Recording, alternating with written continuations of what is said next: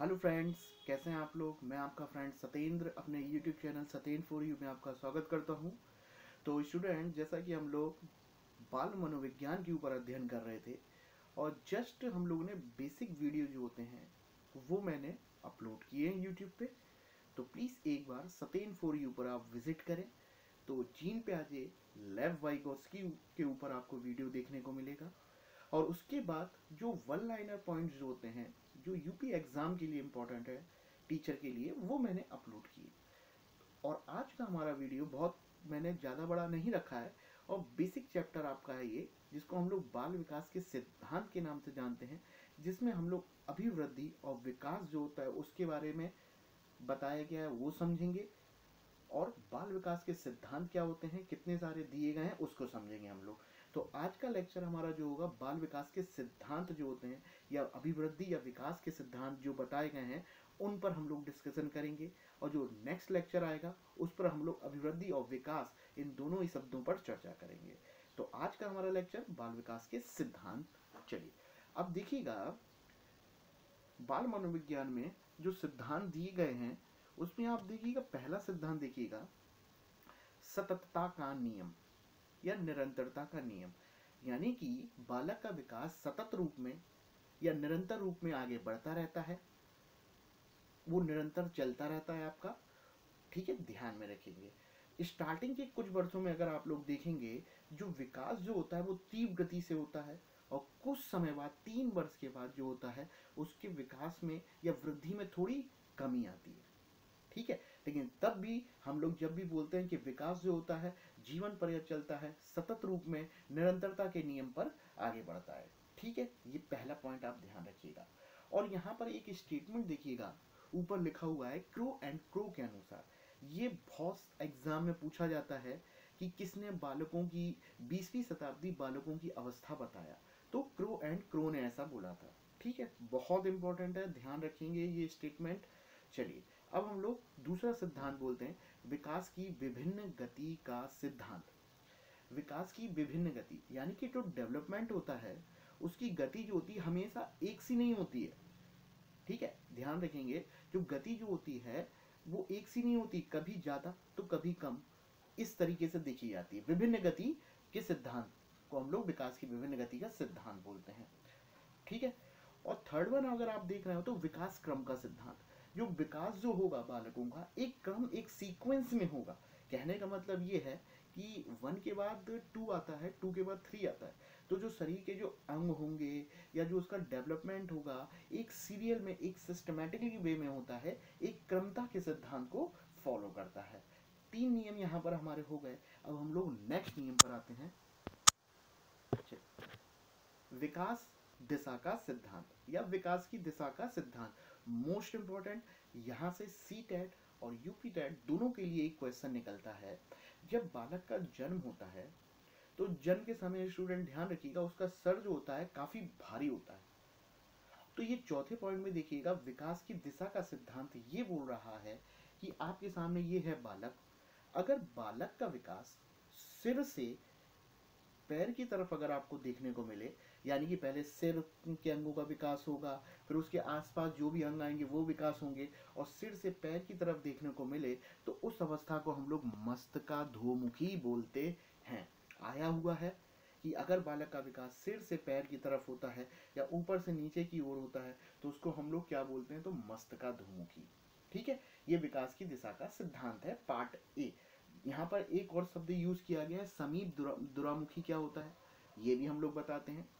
यदि बालक के का विकास का दिशा का जो सिद्धांत में है अगर बालक का विकास जो अगर मध्य भाग से शुरू हो मध्य भाग का अर्थ ये है कि बच्चे की जो रीढ़ की हड्डी होती है जिसको आप लोग स्पाइनल बोलते हो रीढ़ की हड्डी जो बीच से जाती है आपकी कसेरुकू वर्टिब्रल कॉलम अगर वो मध्य अंग पहले विकसित हो रहे हैं और उसके आसपास आने वाले जो अंग जो होते हैं, हृदय हो गया चेस्ट हो गया, वो विकसित हो रहे हैं और उसके बाद मध्य से बाहर की ओर विकास हो। बाहर वाले अंग का मतलब उसके हाथ हो पैर हो ये बाद में अंग विकसित हो तो उसको हम लोग समीप दुरामुखी बोलते हैं।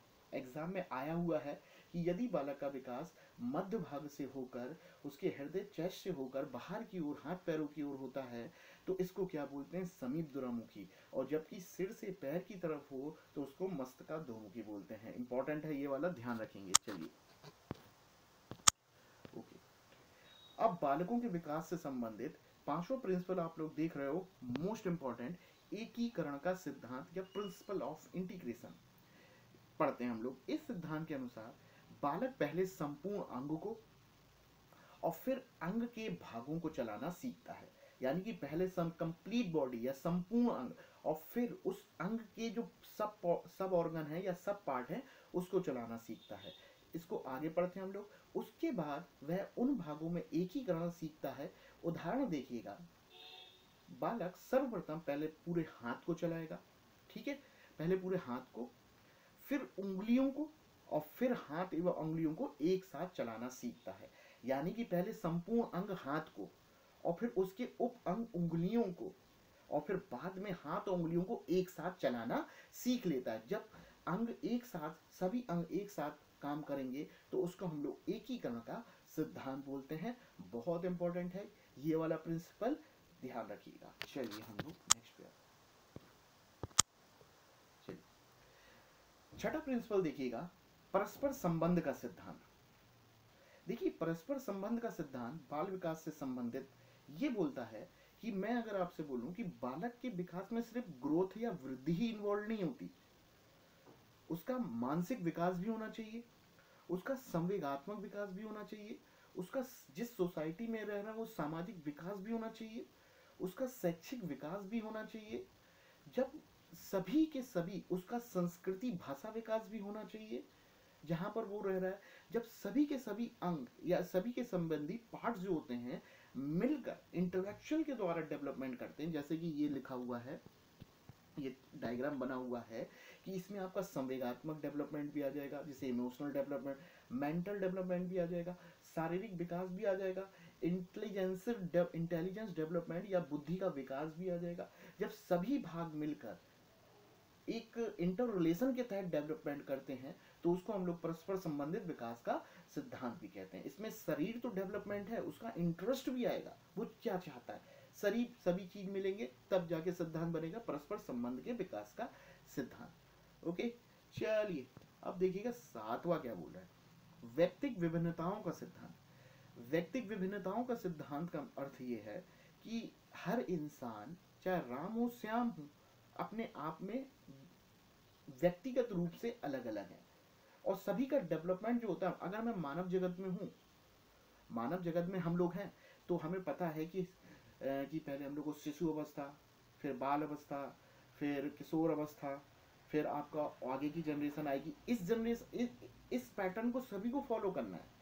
लेकिन हर कोई व्यक्ति अपने आप में व्यक्तिगत रूप से दूसरे से विभिन्न होता है।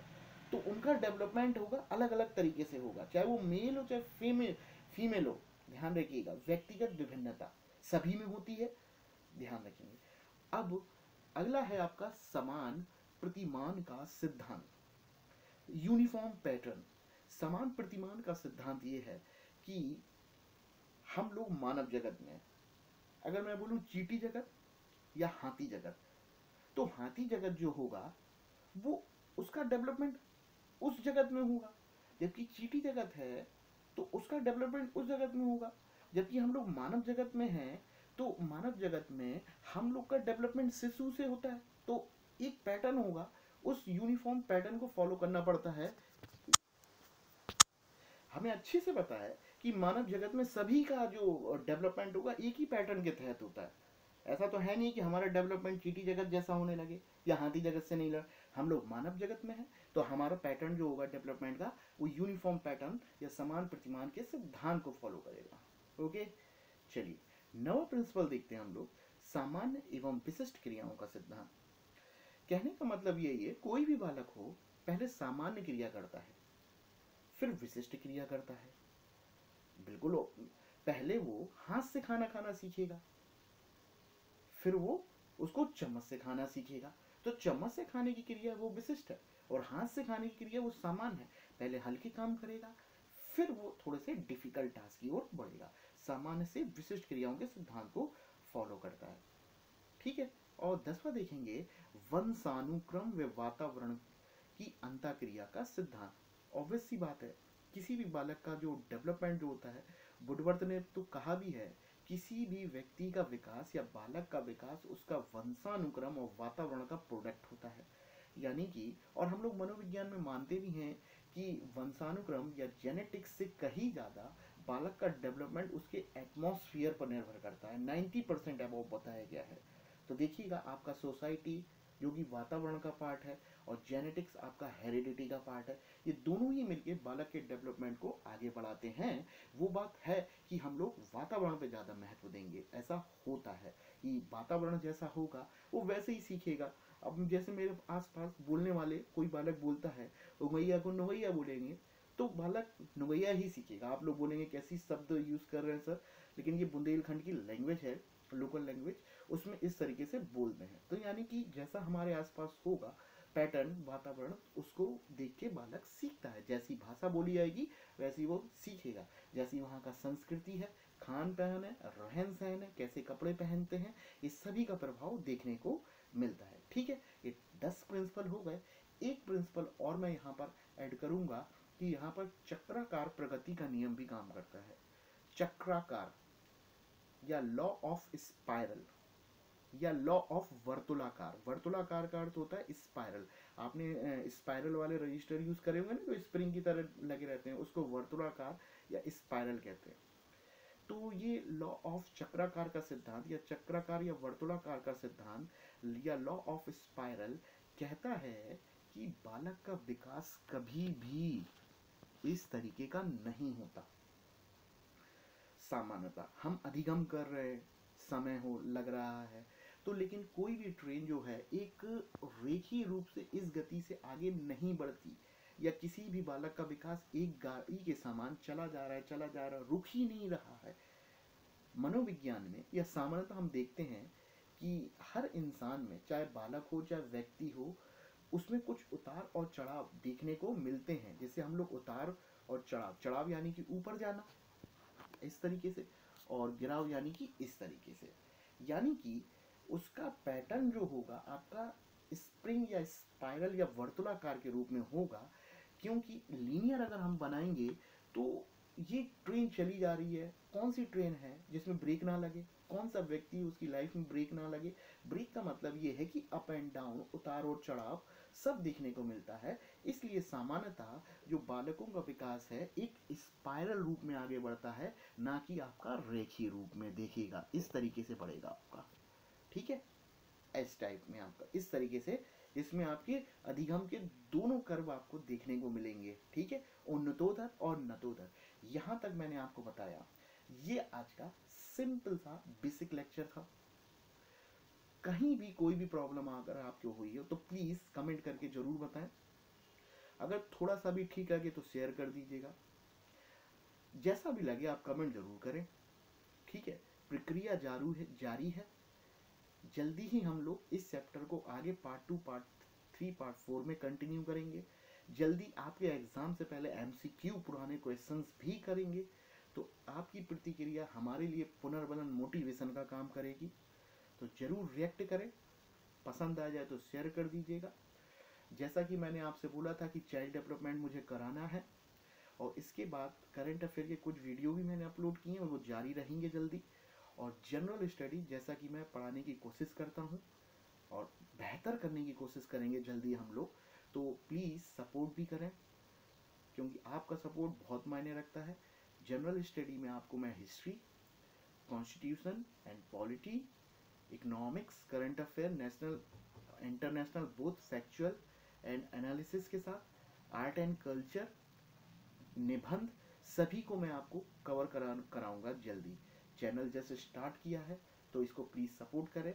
मैं Satyendra YouTube channel Satyendra for you से, झांसी से। जल्दी ही आप लोगों को नेक्स्ट वीडियो मिलेंगे। ये एक इंट्रोडक्शन जल्दी मिलेंगे हम लोग। थैंक यू बाय धन्यवाद।